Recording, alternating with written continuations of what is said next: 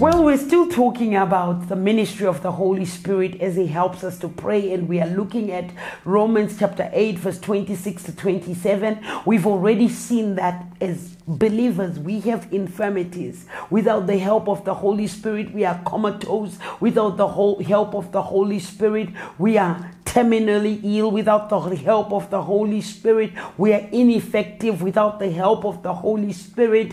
We are like people who are plagued without the help of the Holy Spirit. We will not be able to accomplish what we desire to accomplish and even extending to the realm of prayer. We've already seen the first part of Romans chapter 8, verse 26, which says that um, he he helps our infirmities when we know not what to pray for as we ought.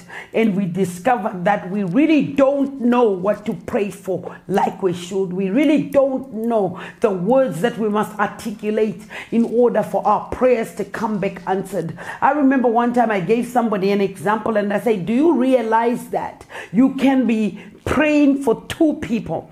Who are running businesses and both their businesses are not doing well. But as you listen to the Holy Spirit for direction, in one case, the Holy Spirit may actually say, just pray against the, the, the, the, the, the, the, the curses that are causing poor business performance. And in another case, he may say, pray against literal thieves in the business. And when you address those things like you should, you begin to see those businesses beginning to thrive. So that's what Paul wants us to understand about knowing what to pray for as we ought. I'm sure the Bible tells us that whatsoever things we ask when we pray, our Father will do it. And the Bible also tells us that when this prayer is directed by the Holy Spirit, our prayers will come back answered. Now, I want to look at uh, what the Bible says in the book of Romans, chapter, in the book of Ephesians, chapter 6, verse 17 because that's when Paul brings the idea of the sword of the spirit. He is talking about the whole armor of God and he has already told us that the loin belt of truth is the foundational armor which is the logos which is the word of God. But now in Romans uh, sorry, in Ephesians chapter 1, verse 17, he wants us to understand the issue of specificity of the word of God because although the word of God is quick, although the word of God is sharper than a double edged sword, although the word of God is efficacious, although the word of God produces, although the word of God is gonna perform, you have to appreciate that it is only the specific word that is addressed to a specific situation. In other words, that's why the Bible actually says faith comes by hearing and by hearing the God breathed, spirit inspired word, which is the Rhetos or the Rhema. So in Ephesians chapter 1, verse 17, when he says taking up the sword of the Spirit, which is the word of God, he's talking about that very God breathed, God inspired Rhema word of God.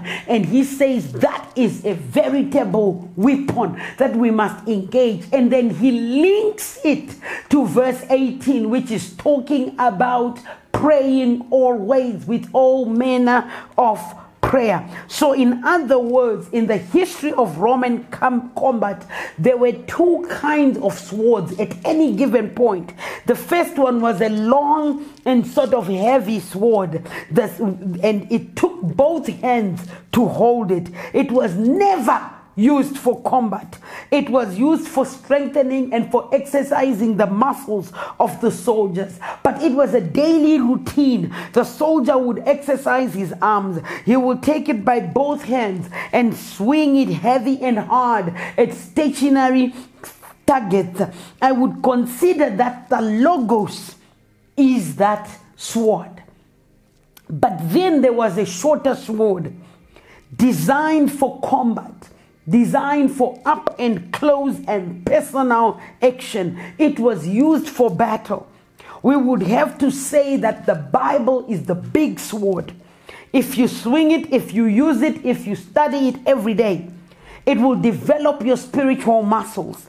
However, in specific situations, the whole Bible is not going to be effective. You have to get into the Word. You need specifically you need to know what you must say specifically to address a particular issue. You need to know specifically how to pray for a particular situation. So even when people say you pray the word, you don't just pray any word. You pray the specific word. You articulate the specific word. You begin to address the specific word. And when you do that, you will have positive results. Therefore, what Paul wants us to understand is that we can't even pray effectively without the Holy Spirit. We need the Holy Spirit. If we want to overcome the frustration of an answered prayer, if we want to overcome the frustration of crying out to God and having very little results and very little to show for it, we need to lean heavily on the Holy Spirit. We need to invite the Holy Spirit to come and energize our prayer life. We need to invite the Holy Spirit to come and help our prayer life.